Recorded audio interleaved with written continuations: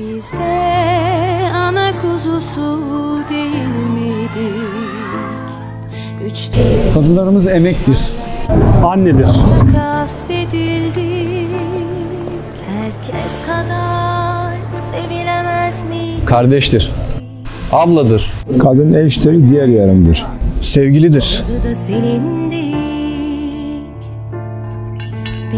Kadınlarımız olmasaydı hayatımız eksik olurdu. Ben olmazdım. Kadınlar candır. üç düğüm tarlaya takas edildik. Kadınlar olmasa ne olurdu? O olmasaydı kimin saçını çekerdim ki? Kime anlatırdım derdimi? O olmasaydı kimin dizine kırılabilirdim? O olmasaydı kim bakardı bu adamın gözüne? Başkası alıyor. Kadınlar ne ister? Eve giderken ekmek ister. Anlaşılmak isteriz. Bir yere giderken haber vermemizi ister. sustuk inançtan değil. Ama melek olmak Aslında bu yolda ortak olduğumuzun bilinmesini isteriz. Her işe girmek ister. Çünkü her işi başarabilirim. Seviyorsam mesele bitmiştir. Başkası alıyor.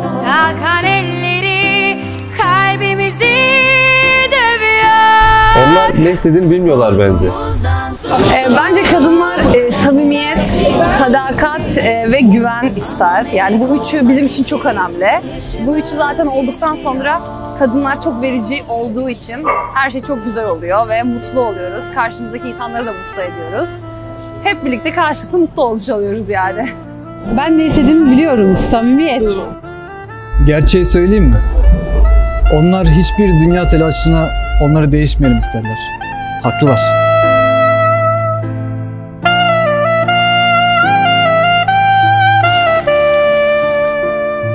Görmek isteyenler kapılar hep açık. Yeter ki görmek istesin.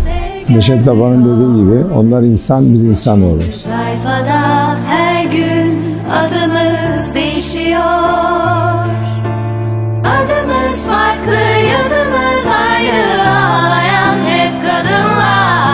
Hiçbir şey değişmiyor. Allah'ım Allah canımızı başkası canımızı başkası alıyor. Kalkan elleri kalbimizi dövüyor.